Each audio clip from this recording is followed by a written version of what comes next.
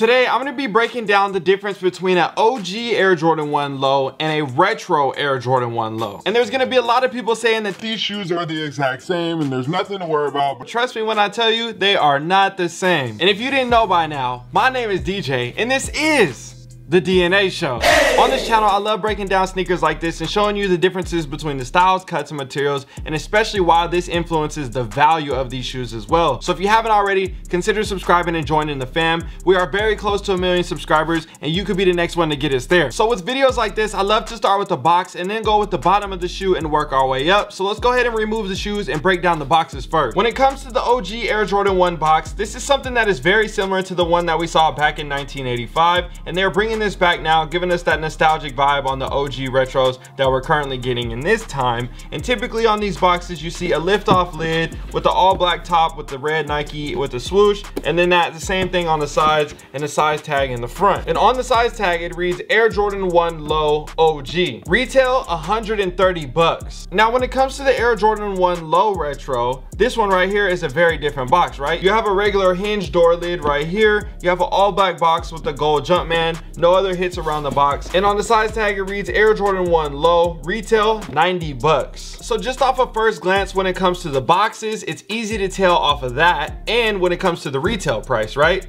Typically, we talk about OG lows. They're gonna be a little bit higher simply because they come better when it comes to the quality and execution on the sneaker, which we'll talk about a little bit later in the video. But this is a quick look at the two boxes and an easy way to tell the difference between the two whenever you see them just in the box. One thing that I always love to talk about on this channel as well is the history of a sneaker and how it even got to this point. So one reason why people love the OG low so much is because they try to recreate the original versions back from 1985. And we saw this specific colorway in particular released back in 85 as well. When you think about Chicago's, Breads, Royal, Shadows, Metallics, different colorways like that, and you see it on an OG model, whether it's a high top or a low top, people are gonna naturally gravitate to it and easily cause the price to increase because of it. And that doesn't mean there's anything wrong with the retro models, it's just that they're a little bit different and they don't have as much nostalgia behind them and the quality just isn't really the same as well, which we'll get into in a second. So starting with the outsole on these two sneakers, as you can see, everything is pretty much identical. Obviously the color color is different, but besides that, you got your normal Air Jordan 1 outsole. Now going up to the midsoles, everything right here exactly the same as well. All white with the white stitch. And obviously this could change based on the colorway of the sneaker. But when it comes over to the overall print, the shape and the form of the shoe and everything like that, it's the same thing. Now this is the part of the video where things start to differ. When I pick up the OG low and I feel the materials on the upper because that's something that most sneakerheads typically do. They always want to understand the quality of the shoe.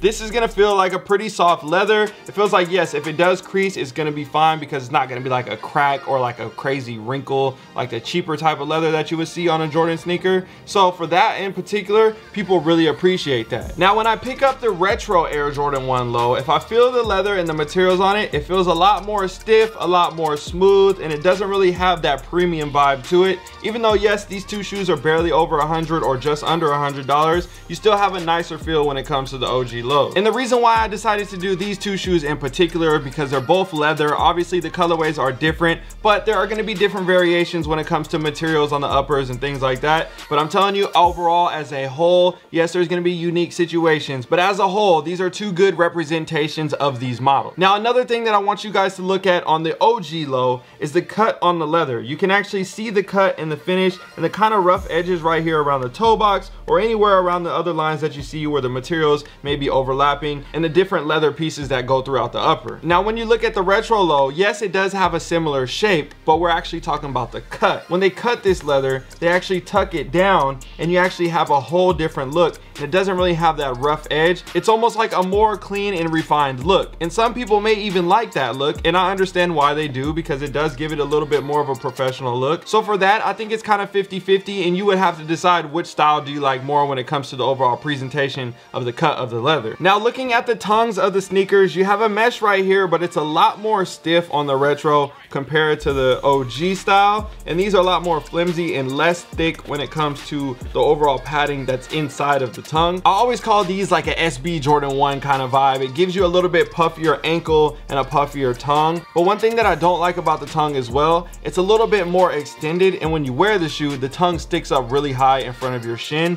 So that's always something to be aware of when you're talking about putting this shoe on and putting this shoe on. Another thing that a lot of people really love about the OG tongues as well, like I said, without having as much padding, it kind of gives you more of a free forming feel inside the shoe and it feels just a lot more comfortable, a lot more lax without that stiffer foam kind of restricting your foot movement. These both come with standard flat laces and you have your loopholes here at the front now, as you can see right here, this one's cut in and this is more of a piece that is attached over the top. And then on the tongue of the Retro, you have a Jumpman embroidered. And then on the OG style, you got that Nike Air. And this is something that everybody loves to see as well. And definitely a reason why shoes have more value simply because of the Nike Air. Another thing to note as well, the OG style comes with an additional pair of laces and the Retro doesn't. So if you wanna switch it out, you're gonna have to go find another pair or use a pair from an old pair of shoes that you may have already had in your collection. So that's always something to consider as well. Now taking it to the sock liners and the insoles, the sock liners, the materials look pretty similar on these in particular, but the insoles have a different look. On the Retro, you have a Jumpman, and on the insoles on the OGs, you have a Nike Air. The OG definitely brings more of a nostalgic vibe when it comes to rocking that shoe and seeing the Nike Air. And like I said earlier, that's always a big factor for a lot of sneakerheads. Now going to the back of the shoe, you can see you have the Air Jordan Wings logo, but it definitely looks different, right? This one's more embroidered on the rear end of the heel, a lot bigger and in a different placement compared to on the OG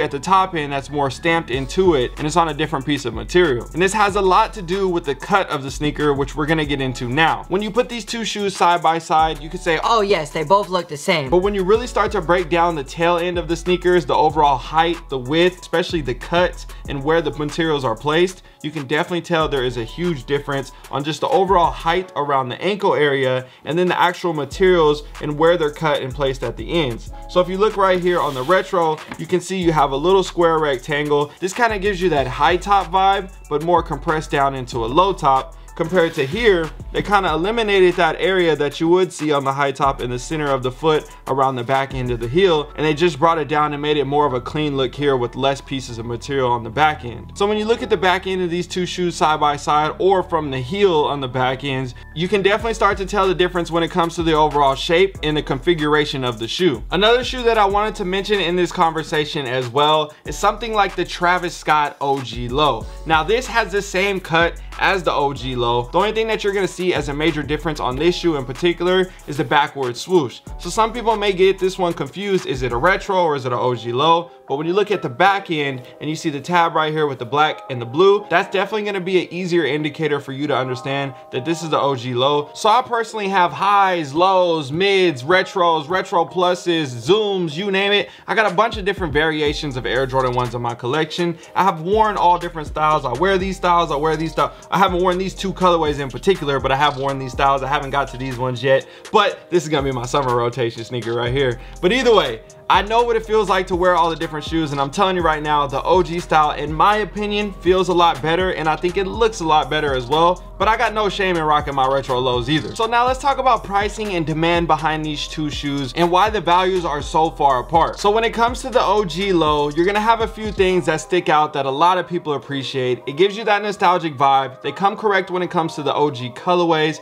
and the overall materials on the shoes. The retros, again, there's nothing wrong with it, but at the same time, you're not gonna see on average the same type of materials and the cut is a little bit different than that OG nostalgic vibe. So that kind of diminishes the value a little bit. Now, obviously you're gonna have those special releases that might be worth a little bit more than your average everyday OG low and stuff like that. There's always the different variables, but on average between the two, you're naturally gonna see a OG low be worth a lot more money than a retro low. And at one point, not that many people even wanted a OG low. Everybody was so fascinated about the high tops, and then they realized that the high high tops were going up in value, so they started to resort to the OG lows, and then those started to go up in value, so then they went to retro lows, and now people are starting to buy Jordan mids. And again, I own mids in my collection as well. I don't like the new mids because they're not as good as the old mids, which we could have a whole nother video about that one if you want to see the differences between the two, because when it comes to new mids and old mids, man, I'm telling you right now, they are not the same. But either way, that's a little bit off topic. Let me know what you guys think down below in the comment section section. How do you guys feel about this? Did I miss anything? Let me know what I missed. And also let me know if you plan on going after one shoe or the other or which ones you have in your collections and how they feel. And just drop overall feedback around these two shoes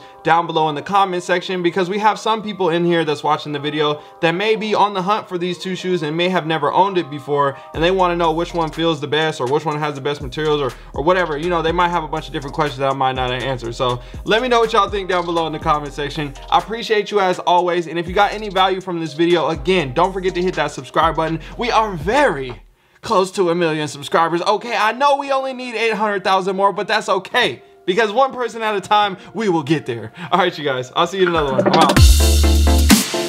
Yo, if you enjoyed this video and want to grow your collection or make extra money on the side, I built a VIP mastermind that will teach you everything that I've learned about growing my sneaker collection over the past 15 years. This will also give you access to the DNA fam in my VIP community where we talk about investing outside of sneakers. And don't worry, if you don't plan on joining the VIP community, it's okay. I also set up a private DNA fam community that gives you access to all the behind the scenes looks from the studio and multiple chances to win free sneakers and gear from weekly and monthly challenges. So all you need to do is click on the link down below in the description or the first link pinned in the comment section. That will get you set up and into the community. I'm excited to see you guys on the inside.